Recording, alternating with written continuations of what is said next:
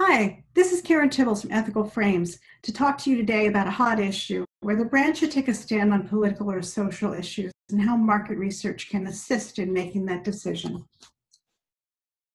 It seems that many brands are taking stands on social issues.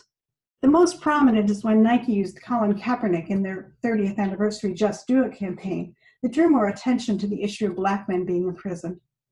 This year, Gillette created a video on the issue of toxic masculinity, which created a media storm.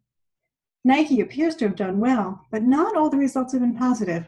When the Parkland shooting happened last year in Florida and Delta eliminated discounts to the National Rifle Association and Dick's Sporting Goods stopped selling assault rifles, both of them got blowback.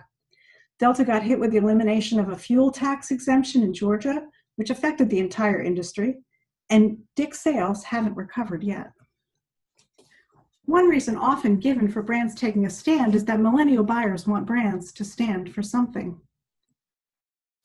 But when asked by the consulting firm Deloitte about their intentions to take a stand, 80% of chief marketing officers say they're not going there. Let's dig into the debate a little bit more.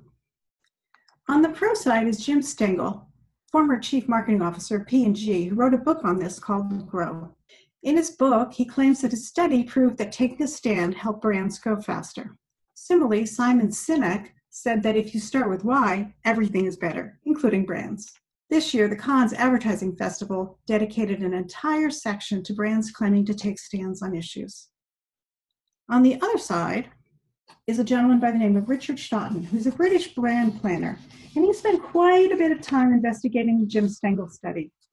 He says Stengel's logic is flawed and that Stengel has stretched the definition of taking a stand so far it is meaningless. Further, he's found that all of the references supporting taking a stand is, that is a good idea traces back to that single flawed study. That's a pretty weak basis for brands taking a risky stand. Other criticisms include the hypocrisy of the speakers at Cannes and the belief among some that taking a stand and then not following through on a meaningful way contributes to declining trust in advertising. And taking a stand doesn't work out as well as people think it will.